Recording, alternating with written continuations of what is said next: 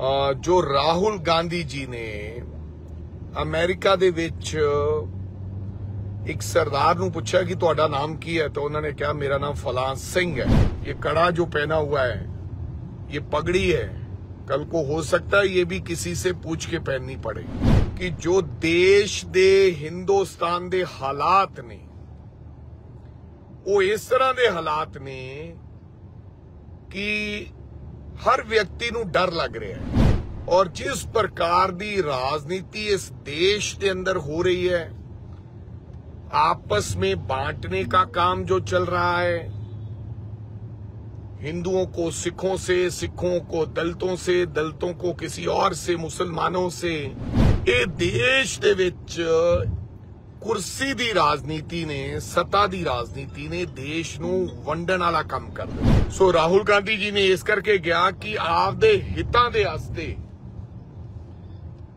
Polarisation ਕੀਤੀ ਜਾ ਰਹੀ ਹੈ, ਯਾਨੀ ਕਿ ਲੋਕਾਂ ਨੂੰ ਵੰਡਿਆ ਜਾ ਰਿਹਾ ਹੈ। ਪਿਛਲੇ ਜਿਹੜੇ ਚੁਣਾਵ ਹੋਏ, ਉਹਦੇ ਚ ਧਰਮ ਦੀ ਆੜ ਦੇ ਥੱਲੇ ਕਿੰਨਾ ਕੁਝ ਹੋਇਆ, ਇਹ ਤੁਸੀਂ ਭਲੀ ਭਾਂਤੀ ਤੁਸੀਂ ਸਾਰੇ ਜਾਣਦੇ ਹੋ। ਕਿ ਰਾਹੁਲ ਗਾਂਧੀ ਜੀ ਜਿਨ੍ਹਾਂ ਦਾ ਸਿੱਖ ਕੌਮ ਦੇ ਪ੍ਰਤੀ ਬਹੁਤ ਭਾਰੀ ਪਿਆਰ ਹੈ ਤੇ ਵਿਸ਼ਵਾਸ ਹੈ, ਉਹ ਵਿਅਕਤੀ ਜਿਹੜਾ ਆਪਦੇ ਇੰਨੇ ਜੀਵਨ ਦੇ ਭਰੇ ਰਜੇਵਿਆਂ ਚੋਂ ਤਿੰਨ ਤਿੰਨ ਦਿਨ ਹਰਮੰਦਰ ਸਾਹਿਬ ਸੇਵਾ ਕਰਕੇ, ਚਾਹੇ ਫਤਿਹਗੜ੍ਹ ਸਾਹਿਬ ਦੀ ਧਰਤੀ ਹੋਵੇ ਤੇ ਚਾਹੇ ਹਰਮੰਦਰ ਸਾਹਿਬ ਹੋਵੇ, ਸੱਚਖੰਡ ਸਾਹਿਬ, ਉੱਥੇ ਨਕਮਸਤਕ ਹੋ ਕੇ ਪੱਗ ਬੰਨ ਕੇ ਸੋ ਲੋਕਾਂ ਦੇ ਵਿੱਚ ਜਾਂਦਾ ਹੈ ਸੋ बीजेपी च गए चंद व्यक्ति एक तो कोई सरदार है जंगपुरा का उसको पता ही नहीं क्योंकि रात को वो चार बजे के बाद तो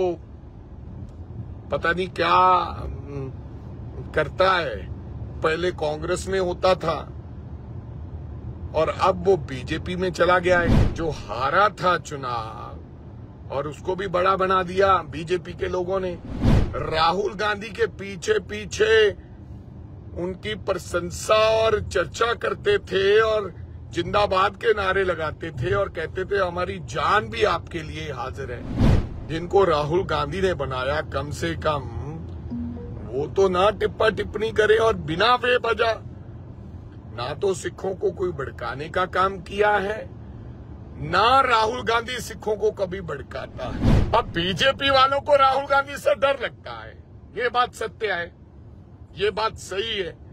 उनको लगता है अब अब बताते हैं ये जाकर इनके जो नए नए लोग गए हैं, एक वो जंगपुरा वाला जो चार बजे के बाद टल्ली हो जाता है, वो बताएगा इतिहास। तो राहुल गांधी की आँख की तरफ़ भी जरा उठा के देखना।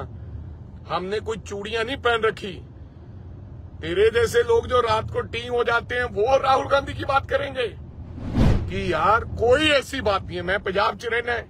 पंजाब के अंदर तो इस तरह की कोई गल नहीं है। जानबूझ के प्रदर्शन, बीजेपी हेडक्वार्टर से आ गया, फ़ोन की जाओ भाई, प्रदर्शन करो। की क्या है, राहुल गांधी ने सिखा के खिलाफ भाई? राहुल गांधी ने इस देश के लोगों को प्यार करता है, चाहे वो मुसलमान हो, चाहे वो दलित हो, चाहे वो ओबीसी हो, चाहे वो पछड़ा, एसटी हो चाहे वो सरदार हो, चाहे वो हिंदू हो। राहुल गांधी ने कहा था संसद में कि हिंदू आप जैसा नहीं हो सकता है। कहने का मतलब ये था कि जिस प्रकार से आप डराते हो, हिंदू किसी को डराता नहीं है। आप डराते हो।